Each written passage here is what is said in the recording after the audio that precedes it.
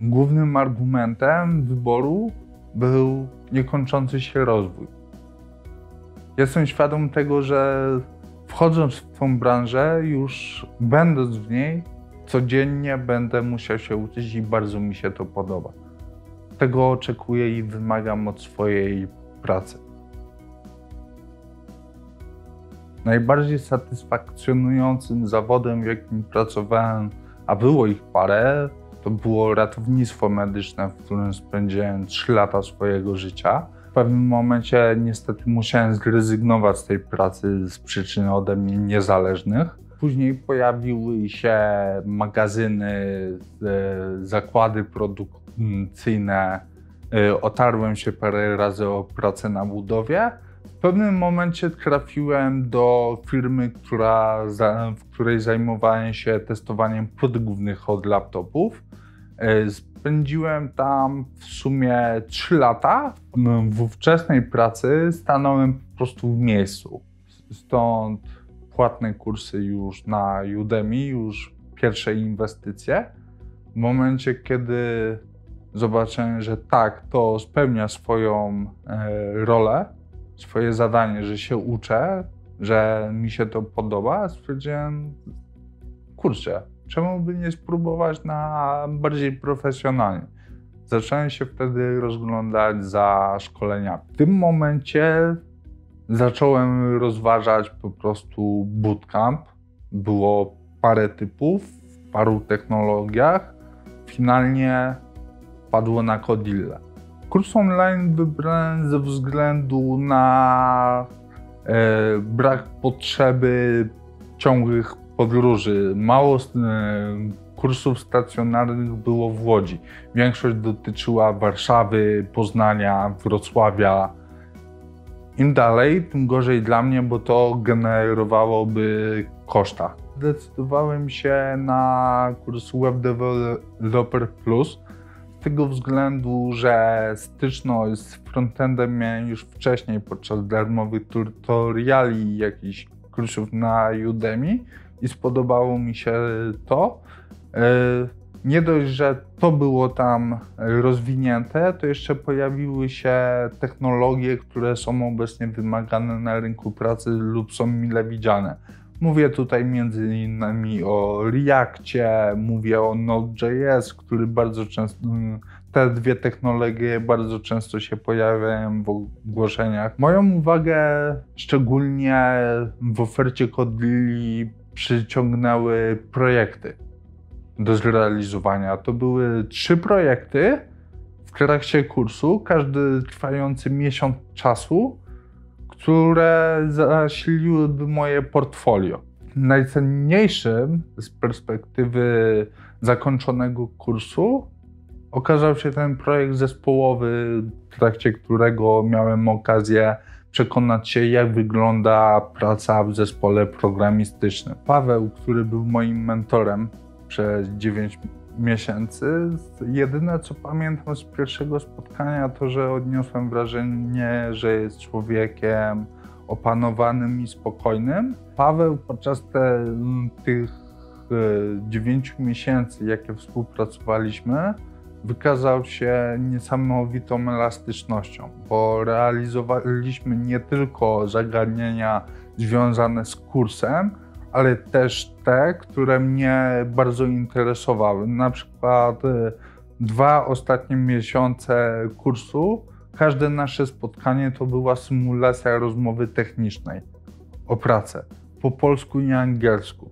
Dlatego Y, warto rozważyć e, mentora, jeżeli chodzi o kurs programowania. Bootcamp okazał się dużym wyzwaniem ze względu na to, że jednocześnie pracowałem. E, pracowałem na dwie zmiany i wracając z rannej zmiany siadałem do komputera, ucząc się 3-4 godziny dziennie i tak naprawdę po skończeniu nauki już musiałem kłaść się spać, bo następny dzień już y, był zapasem. Przy popołudniowej zmianie wstawałem o 7 rano, siadałem przy komputerze, odchodziłem od komputera i szedłem do pracy. Ale też dużo rzeczy musiałem przyswajać dużo wolniej. Przyswajałem dużo wolniej, dużo więcej czasu spędzałem nad tym. I mentor bardzo mi w tym pomógł, bo dużo rzeczy nie rozumiałem, musiałem nadrabiać po prostu ciężką pracą. Moja pierwsza praca w branży IT to konsekwencja e, wcześniej nawiązanego kontaktu. E, kontaktem tym był, był kursant Kodilli, który na czat e, Kodilli na kanał HR e, wrzucił ogłoszenie o pracę w Łodzi dla junior frontend developera. W tamtym czasie byłem mniej więcej w połowie kursu.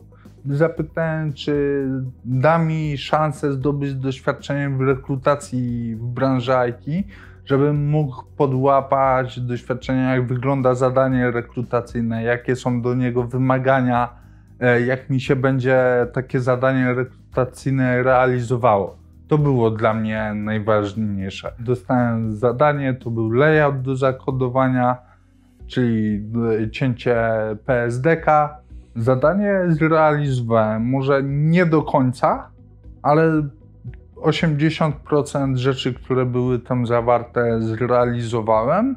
E, po jakimś czasie dostałem feedback. Oczywiście pracy nie dostałem, bo było za wcześnie, jak dla mnie. E, za mało jeszcze potrafiłem kontakt został. Zaczęliśmy rozmawiać o frontendzie, o branży IT, wymienialiśmy się spostrzeżeniami, później spotkaliśmy się na jednym z meetupów w Łodzi. To był Meet.js bodajże 25. Wtedy poznaliśmy się face to face.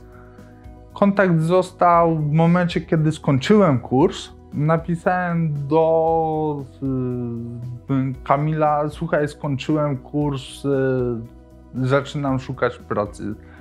Dwa czy trzy dni później Kamil do mnie napisał, że słuchaj, jeżeli masz ochotę zmienić otoczenie, to zapraszam do pracy do Mrągowa, potrzebuję rąk do pracy.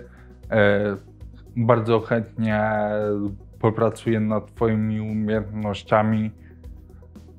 Podnegocjowaliśmy warunki spakowałem torbę i pojechałem do Mrągowa, prawie 400 km od Łodzi. Dla mnie z, y, największymi plusami y, kursu y, organizowanego przez Kodille było wsparcie mentora, gdzie te jedna godzina w tygodniu wbrew pozorom potrafiła dużo rozjaśnić.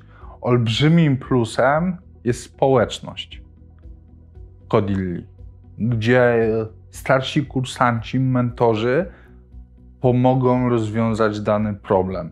Można poprosić o feedback y, co do projektu, który się samodzielnie zrealizowało.